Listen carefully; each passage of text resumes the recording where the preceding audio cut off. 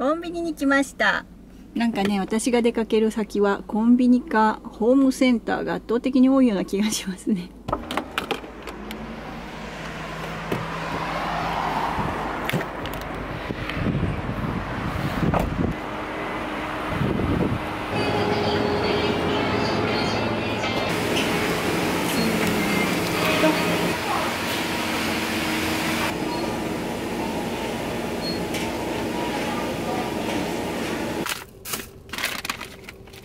濃厚たらこバターせんべい。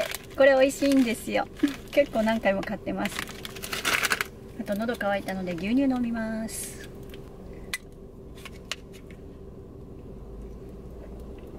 開けておきます。走りながらねつまんだりするんですよ。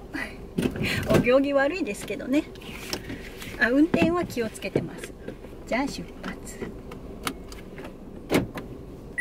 今日もねいい天気なんですよ。ちょっと夏っぽい感じもするんですけどやっぱりねあのそこまで気温は高くなくて。あの歩道から車道に横切るっていうんですかね。そういう時にあの振動があってカメラが転がったりとかね。転がるって下に落ちちゃうっていうよりもあのどっかに引っかかるんですけどアングルが変わったりすることがあるんですよね。途中ですごく斜めになってたりとかね。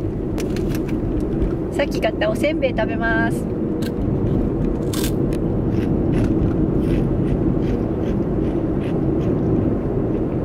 私は車の中でよく物を食べたりするんですけど、うん、小腹が空いたとかそういう理由ももちろんあるんですけど結構一番大きな理由はぼーっとしてきた時に眠気に変わらないように何か運転以外の違うこともするっていうそういう意味もあの含まれているので口を動かすと結構それが刺激になってあのぼーっとしたのがシャキッとしたりするのででそういうような感じであの長距離運転することが多いので車に乗るときはおやつを持参しています。あと本当にいよいよねあのこれは眠くなっちゃいそうっていう時はリポビタン D 飲みます。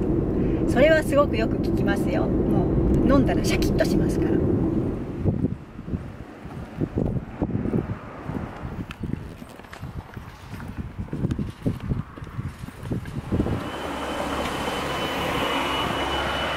日は暑い思ってたよりも暑かった。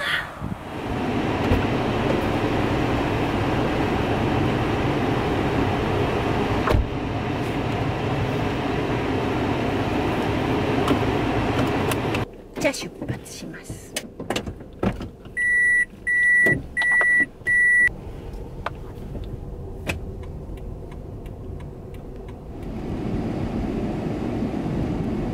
今日本当にいい天気なのはいい天気だけど雲は多い。